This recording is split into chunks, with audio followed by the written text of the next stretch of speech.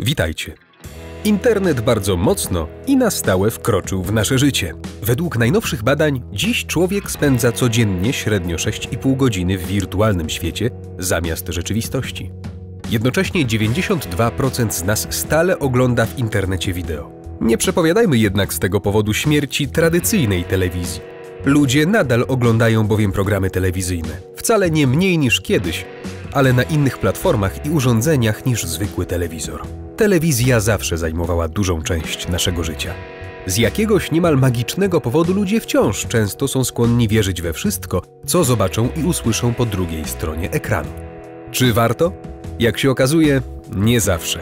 Obejrzyjcie uważnie. Dziś opowiemy Wam o pięciu największych oszustwach programów telewizyjnych w historii współczesnych mediów. Uwierzcie, że będziecie zaskoczeni.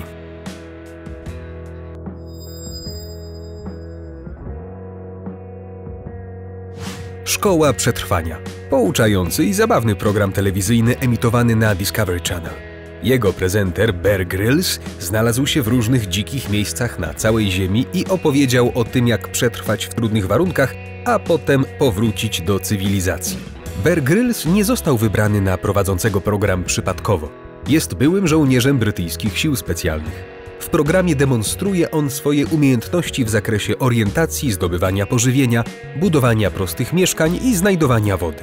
Widzowie przez wiele lat wierzyli w prawdziwość tego programu, w którym Ber dokładnie pokazał, jak zdobyć jedzenie i schronić się w zupełnie obcej dziczy, takiej jak na przykład bezludna wyspa po katastrofie lotniczej. Niestety po zakończeniu emisji programu okazało się, że większość z metod na przetrwanie została oparta o zwykłe oszustwo. Po pierwsze, w prawdziwym życiu Grills wcale nie jest ekspertem od przetrwania. Nigdy wcześniej go to nie interesowało, a twórcy programu od początku o tym wiedzieli.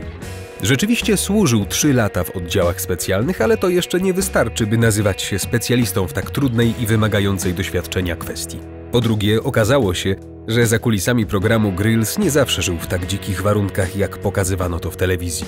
Często jego noclegiem nie była niebezpieczna dżungla, ale przytulny pokój hotelowy. Jak wam się podoba taka ekstremalna zabawa? Po trzecie, dalekie od prawdy są techniki pokazane przez Grylsa w programie. Na przykład w jednym z odcinków kręconych na afrykańskiej pustyni prezenter zapewniał, że w warunkach suszy wodę można usunąć z kału słonia. Nie musimy chyba dodawać, że jest to ogromne zagrożenie dla zdrowia człowieka. Dlatego można tylko się domyślać, że ekipa realizująca program dla kilku spektakularnych ujęć podmieniła wodę z kału słonia na zwykłą wodę mineralną. Nie można też zapomnieć o tym, że zdaniem prawdziwych ekspertów niektóre techniki prezentowane przez Grylsa są nierealne w normalnym życiu. Za kulisami programu dochodziło też do innych manipulacji. Na przykład Bear często niby to przypadkowo spotykał na swojej drodze dzikie zwierzęta. Jego zadaniem było ich oswojenie, co zwykle się udawało. Wszystko dlatego, że zwierzęta były wynajęte i przeszkolone, a nie dzikie. Czy to nie zabawne? Jeśli po tym wszystkim nadal wątpicie w to, że w programie nie brakowało oszustw, to warto powiedzieć, że w 2008 roku przyznał się do tego sam Bear Grylls. Po ujawnieniu takich działań program można oczywiście nadal oglądać, ale raczej jako film fabularny niż dokumentalny, który ma uczyć przetrwania w ekstremalnych warunkach. Pimp My Ride to jeden z najfajniejszych programów typu reality show z lat 2000, w którym przerabiano stare samochody na fantastyczne bryki z telewizorami w kabinie i ogromnymi głośnikami w bagażniku. W 2015 roku Huffington Post przeprowadził wywiady z byłymi uczestnikami projektu i okazało się, że nie wszystko było jednak tak kolorowe, jak pokazano to w telewizji. Przede wszystkim samochody przerabiano w garażach przez około pół roku, a nie jak przedstawiano to w programie tylko kilka tygodni. Samochody przerabiano tylko tak, aby wyglądały świetnie na pierwszy rzut oka, bez wdawania się w detale. Większość fajnych gadżetów usuwano z pojazdów tuż po nagraniu ze względów bezpieczeństwa.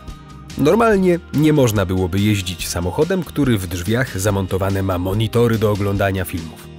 Wiele zardzewiałych czy odpadających z samochodów części też było przygotowywanych wcześniej, aby zwiększyć efekt wow na końcu. Same historie samochodów i ich właścicieli również niejednokrotnie wymyślano. Wiem, że jestem dość gruby, ale producenci poszli za daleko. Według ich pomysłu słodycze były rozrzucone po całym wnętrzu mojego samochodu, podobno na wypadek głodu. Tyle, że ja nigdy nie miałem słodyczy w samochodzie. Zostało to zmyślone na potrzeby programu. W bagażniku zainstalowali mi jeszcze maszynę do robienia waty cukrowej. Myślę, że uważali to za świetny pomysł i po prostu chcieli wykorzystać grubego faceta, aby go zrealizować. Powiedział Seth Martino, jeden z uczestników programu. Finałowa scena często była nagrywana kilkukrotnie z komentarzem, by właściciel przerobionego samochodu pokazał więcej pozytywnych emocji. Jedyną rzeczą, którą wszyscy uczestnicy wspominają ciepło, jest gospodarz programu Exhibit. Jak wspomina inny uczestnik, zawsze był wyluzowany i wesoły. Program Gwiazdy Lombardu kilkukrotnie bił rekordy w segmencie reality show i przewyższał konkurencję swoją oryginalnością. Program opowiada o rodzinnym Lombardzie w Las Vegas, w którym trzy pokolenia mężczyzn z rodziny Harrison wyceniają i skupują różne niezwykłe przedmioty, ale najciekawsze w programie nie są same przedmioty, ale ich barwni właściciele. Widzowie mogą usłyszeć niesamowite historie ich życia, a przy okazji oglądać niekończące się perypetie, które towarzyszą właścicielom Lombardu. Po premierze w 2009 roku program szybko odniósł ogromny sukces w amerykańskiej telewizji. Działalność właścicieli Lombardu rozwinęła się z niespotykaną siłą. Przed rozpoczęciem projektu liczba klientów rzadko przekraczała 100 dziennie, a po roku osiągnęła 1000. Czy to się nie zmieni, kiedy ujawnimy, jak kręcono ten program? Przede wszystkim nikt nie pokazuje tam prawdziwych transakcji, ale są one wcześniej z góry zaplanowane. Część klientów trafia tam przypadkowo, podpisują oni wtedy umowę ze stacją telewizyjną, a ich rolą jest opowiedzenie przed kamerą historii swojego życia i pokazanie przedmiotu do wyceny przez obsługę Lombardu. Kolejna smutna wiadomość dla turystów podróżujących do Las Vegas w poszukiwaniu tego Lombardu jest taka, że bohaterów programu nie można spotkać na miejscu. Nie pracują już oni w Lombardzie na co dzień, a przyjeżdżają do niego tylko wtedy, gdy kręcone są kolejne odcinki programu. Hell's Kitchen. Sens tego reality show jest prosty. Dwa zespoły kucharzy rywalizują ze sobą pod okiem słynnego szefa kuchni Gordona Ramseya w atmosferze jego krzyków i drwin z uczestników. Spokojnie, nie dojdzie do żadnego starcia między Gordonem a uczestnikami, bo Gordona pilnuje kilku ochroniarzy. Restauracja, w której kucharze ze sobą rywalizują, nie istnieje naprawdę, to tylko hala telewizyjna, gdzie nagrywany jest program. Uczestnikami programu są zwykli ludzie, którzy po prostu gotują. Ekipa telewizyjna stosuje jednak sztuczki, takie jak nieplanowana zamiana składników dania, aby wzbudzać emocje i utrzymać widzów przed telewizorami.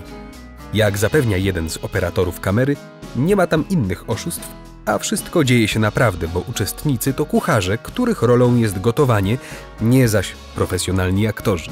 Mechanizm jest banalny. Wyślij ludzi do kuchni, wrzuć węgiel do pieca i ciesz się wybuchającymi płomieniami.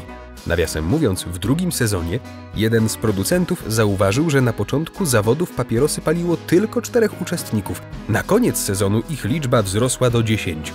Czy to dowód na ciężką atmosferę w programie? Cały ten stres jest prawdopodobnie wart pracy szefa kuchni w ekskluzywnej restauracji. Problem w tym, że nie każdemu się to udało. Ze zwycięzców 10 edycji tylko połowa trafiła na stanowiska szefów kuchni. Pozostali objęli albo mniej istotne stanowiska, albo w ogóle nie dostali pracy.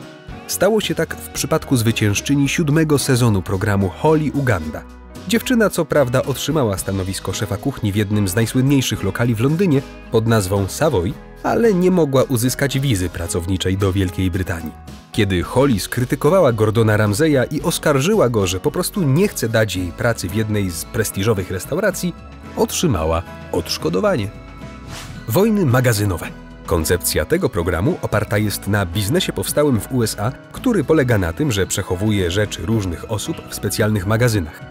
Jeśli ktoś nie płaci za korzystanie z lokalu przez długi czas, zawartość magazynu zostanie sprzedana na aukcji. Program pokazuje, jak ludzie biorący udział w aukcjach starają się kupić ciekawe starocie z magazynów. Uwierzcie, że emocje sięgają wtedy zenitu, przynajmniej na ekranie. W rzeczywistości były aktor Dave Hester pozwał twórców serialu o nielegalne zwolnienie go w 2012 roku. Twierdzi, że został zwolniony za publiczne nagłaśnianie oszustw, które miały miejsce podczas kręcenia programu. Producenci stworzyli cały zespół, który umieszczał rzeczy w szafkach po wcześniejszej wycenie i podpowiadał uczestnikom, które szafki powinni wybrać w czasie licytacji. Przedstawiciele telewizji sprzeciwiali się tym zarzutom. Sąd zgodził się z nimi i nakazał Hesterowi poniesienie kosztów postępowania. Pomimo tego, Hester nadal trzyma się swojej wersji. Uważa, że programy są oszustwem, bo brał w tym udział i widział na własne oczy, jak to działa. Według Radar Online Hester umieszczał kupione przez siebie rzeczy w szafkach, a producenci płacili mu nawet coś w rodzaju czynszu za korzystanie z tych przedmiotów. To, czy obejrzycie programy, które oszukują, że pokazują prawdę, zależy tylko od Was. Jeśli Wam się podobało, możecie polubić to wideo i zasubskrybować nasz kanał. Dziękujemy za obejrzenie i do zobaczenia wkrótce.